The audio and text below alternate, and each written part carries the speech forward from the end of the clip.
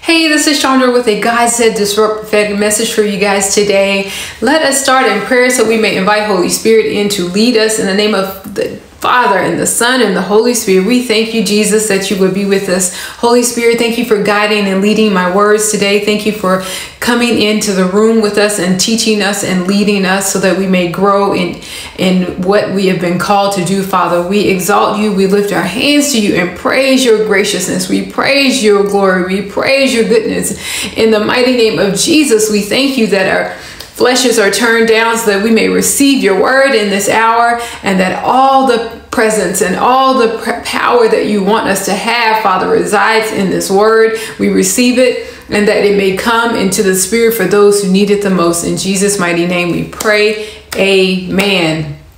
So, if you're new to my channel, welcome. Thank you for joining us today. Thank you for coming aboard. And if you are a returner, thank you for subscribing and commenting and liking and sharing. And I thank you guys that you would be with me today as I lead um, in this message that was provided to me. So, we'll get the housekeeping things out of the way first so that you'll have your um, definitions and know how to track for your studies. We'll start there. This word came to me on 421. So, Hebrews 421 means through the idea of invocation, to be well, to lament. God said lament. And as I looked at lament and the act of hailing in an assistance. And so Joel 1 8, lament like a virgin girded with sackcloth for the husband of her youth. So I looked at invocation, and that means invoking someone or something for an assistance as an authority.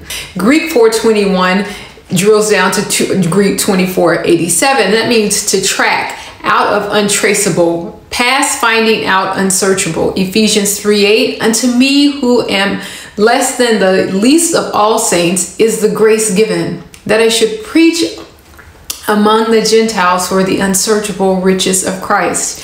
We know that if we call out to the Lord and ask Him for understanding and ask Him for wisdom and knowledge, He will teach us the unsearchable things. Yes? And so Greek 2487 means to arrive, to step, to to track. First Peter 121 is your scripture for that. So God brought this forth to me around 7:43 in the morning and it is a, a, dream that I had of a young boy in lions. And so 743 drilled itself down as a Greek word um, from 757 to 732 as chief angel, archangel. First Thessalonians 4:16 says, "For the Lord himself will descend from heaven with a shout, with a voice of archangel, with the trumpet of God." And the dead in Christ will rise first. And then Jude 1 9 says, Yet Michael the archangel, in contending with the devil when he disputed about the body of Moses, dared not bring against him a reviling accusation, but said, The Lord rebuke you. Greek 757 to be um, in a political power rank or ranking means reign, rule over. And then the drill down from that um, original word means to bring tidings, a messenger, especially by an angel. So this dream that I had, it was like a um, a movie reel, like it, like a movie reel was going up. Is what I saw, like the you know the old school film, movie film tape, but it was um, in um, not in high definition color. It was like a monochromatic color, like a gold, goldish, bronzish color.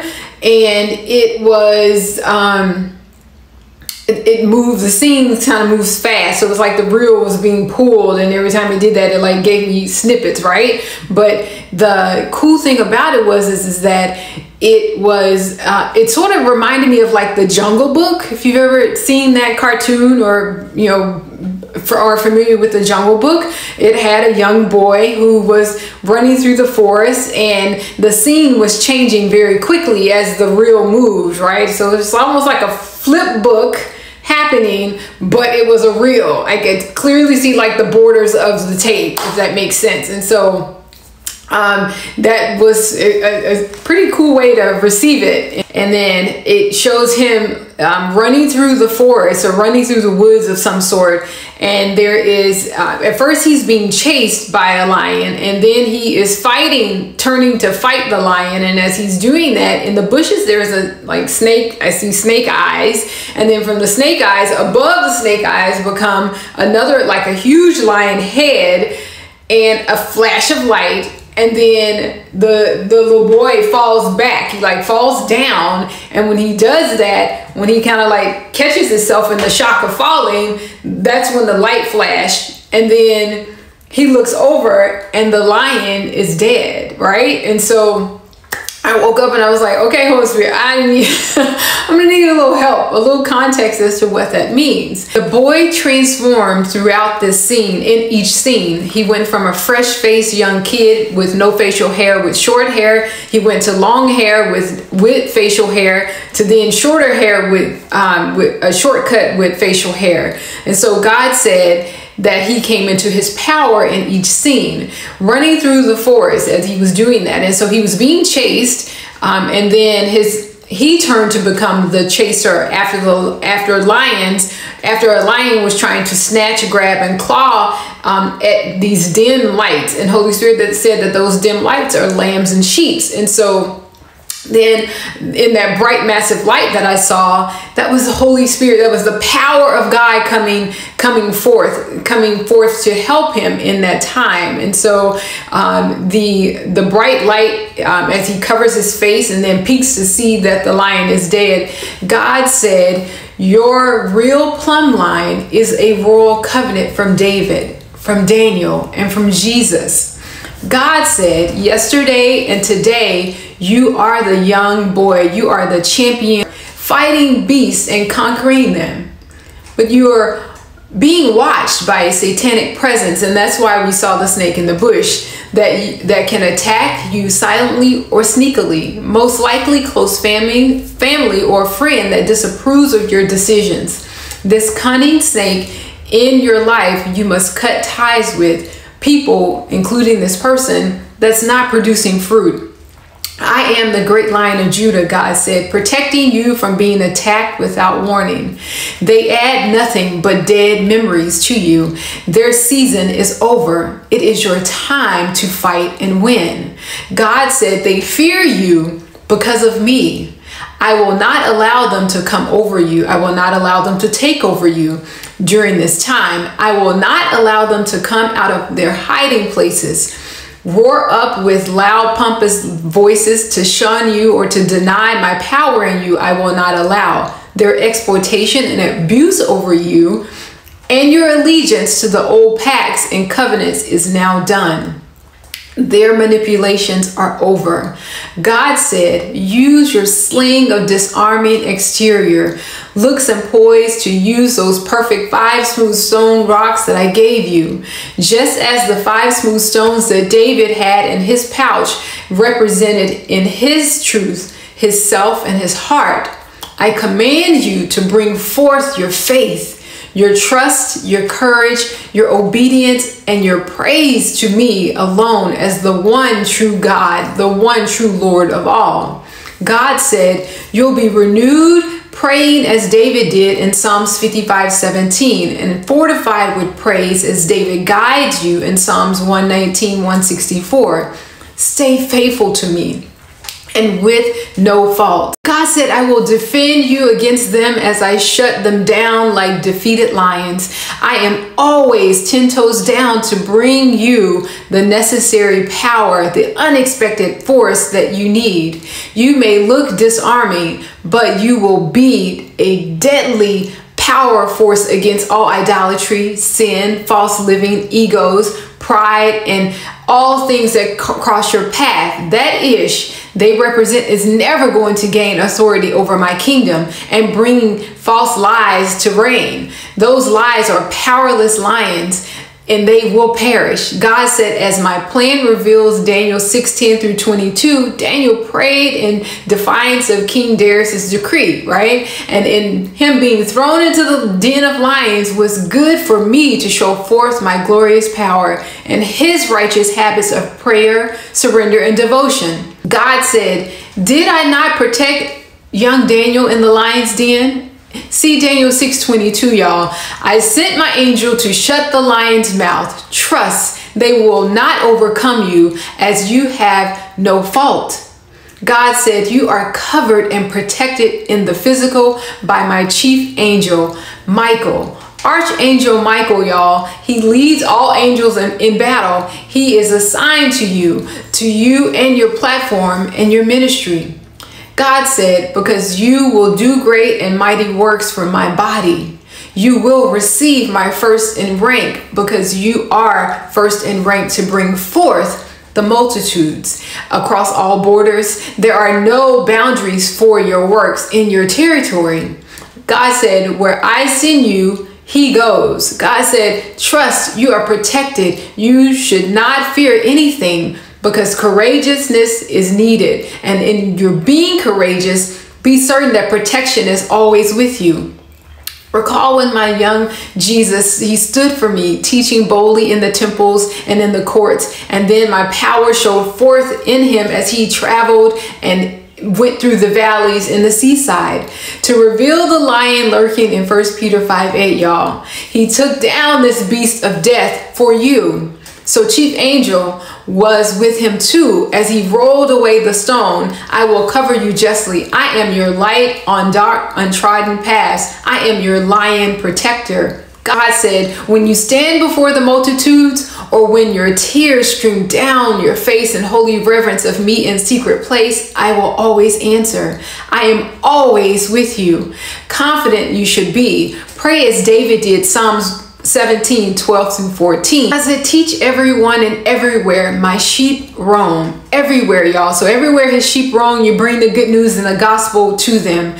My Lord angel, he says, is your cover. He is your armor bearer. Call out to me and I will send him always. He will stand before you and protect you from Satan as you will stand with others and do kill shot orders for all demonic powers and principalities in the spirit that I send you to you will gather and equip and retrieve the lost souls. God said, You will become the young lion amongst flocks of sheep that roam amidst the beasts of the forest, as Micah 5 8. So fear not, fight fierce, you will be victorious. God said, Tomorrow you will rise to be a lion of Judah, as David, Daniel, and Jesus did. You are ready. God says you will raise up quickly to become a mighty first leader in the converting of souls, a multitude of souls, he says. I'm hearing multitude of souls as a slayer of lions and giants and bears, y'all. Oh my, my Lord, bless his holy name. Yes, like never before and evermore. In the name of Jesus, we call forth his power. We call forth his truth. We call forth his word that he is coming. He will return. He will slay all demons. He will judge the living and the dead. And that two groups has another subset of two and two into it in the name of Jesus. So you may be walking righteous with the Lord, but then those who are Christian but not doing their job, you will be judged accordingly. You will be judged as though you're not even in the life, in the works of what he is giving you, right? And then those who are dead, you are you may be walking around with not knowing who God is or not or even knowing him but denying him. Then you're in that dead category. And then those who are been laid to rest will be judged according whether they gave their life to Christ before they died or whether they did not and they will be judged as the dead. So you have to make sure that you understand the context of I'm a Christian and I'm doing the work of the Lord. I'm a Christian and I'm not doing the work of the Lord. I am dead in the soul because my body has been laid to rest. And then I am walking around alive, but I'm not claiming Christ. I am dead in the name of Jesus. Those four categories, he's raising up two levels. So it's saying he's raising up the living and the dead. You have to understand that they're um, subcategories under the two, right? Amen. Amen. Yes, it's so good. So all of this, that dream of this young boy running through this forest, and as he's running through the forest, he's literally like growing up in real time, right? It's like faces change, his face changes, hair changes in the window God is saying that you are going through a transformation season that people are not going to recognize you from being the young, immature person that you once were, where your your man child was in control to becoming the man that he has ordained for you to be. And so this this word is for our kingdom men. This word is for those who are fighting in the spirit right now, fighting into the physical, trying to figure out what is this life transformation that I'm having to go through.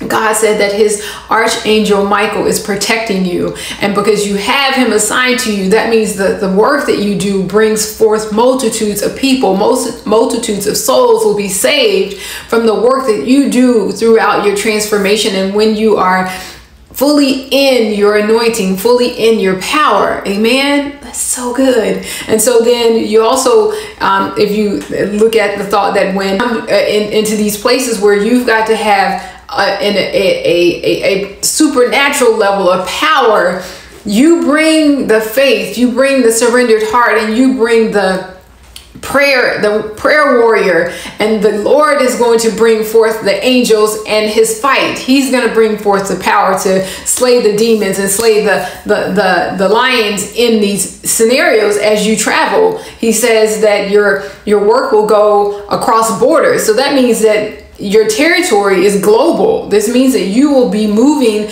going about global. You may have a home base, but you will be traveling out to save multitudes of souls, right?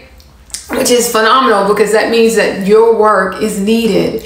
But it starts with your prayer life, it starts with you praying in um, in sync of what the Lord is saying. So being mindful that we have eight watchman prayer stations, eight watchman shifts, um, and I'll talk about that in another. Um, in another message, but basically we have eight designated times where we should be praying um, through throughout the day, so that we don't miss a shift of being ready and being in revelation, being um, in, in power and being in, in sync with what the Lord has. And then whatever the enemy is planning, the Lord is providing. Holy Spirit is giving us real time communications on how to combat it, how to beat it, how to fight it in the spirit. So we're constantly warring throughout the day. But that means that we are saving a multitude of souls, y'all. The sin is real, and we know that because of the lives that we previously led, right?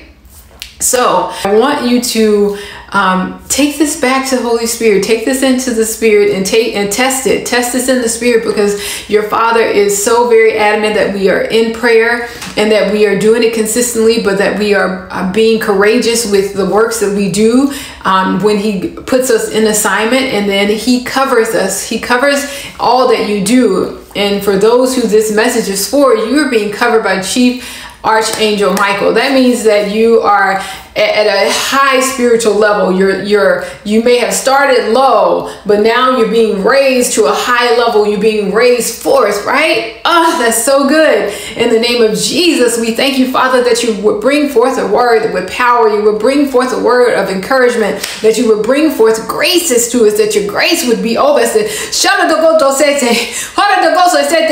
That the word would be with us. That the word would be over us, and that we wouldn't be shy about what we do. That we wouldn't be shy about who we are, that we would bring forth his power when he calls us to do so. Amen. Amen. Yes. Now, whew, Lord, thank you, Jesus. God said, go disrupt some ish for his glory, y'all. Bye.